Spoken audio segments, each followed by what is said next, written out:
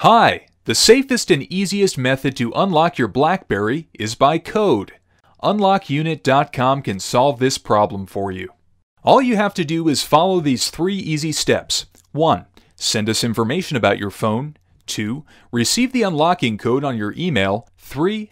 Enter the code into your BlackBerry device. Step 1. Go to UnlockUnit.com. Choose your phone manufacturer, BlackBerry.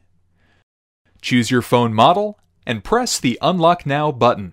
You will be redirected to the Unlock BlackBerry page, and here you have to select the country and network you originally bought your phone from. Next, you'll have to insert the IMEI of your phone. You can get your phone's IMEI by dialing star pound 06 pound on your phone or by checking the sticker on the back of your phone underneath the battery. You'll also need to enter your email address and then proceed to payment. Step 2. You will receive the unlocking code and all the necessary instructions on your email in the shortest time possible. Step 3. You have to insert another carrier's SIM and wait for your phone to ask for the unlocking code. Then, enter the code you received from us and your phone will be unlocked.